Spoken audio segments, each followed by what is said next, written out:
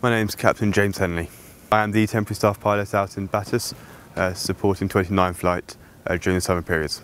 Uh, day to day we provide 24-hour CASEVAC uh, support to the exercising battle group. Uh, on top of that we provide recce and liaison tasks and so two task lines in support of BATUS training. Flying in Canada is great. Uh, there's a, a, wide variety of flying out here, uh, from minus 30 in snow conditions right through to plus 30, 40 degrees, uh, so hot and high. And there's a wide variety of tasking available as well. Uh, so really great to have the independence out here. It is a very challenging environment, but we've got a good team. Uh, the QH out here develops us thoroughly, and we have a, thorough supervision process. Uh, so nothing beyond our capability is thrown our way.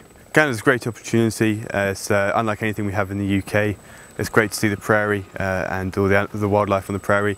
And it's also great to be so close to America and go and explore the America when we get time off. This is a, a Gazelle Mark 1 AH helicopter used by the British Army. It's powered by a Astazou 3 engine. Uh, we cruise around at around 120 knots with a maximum cruising speed of 156 knots. Uh, we can fly for about two and a half hours endurance and operate up to 8,000 feet. Uh, if the Gazelle is going to be any car, I think it'd be a Mazda MX-5. Slightly like a hairdresser's car, but great fun to throw around.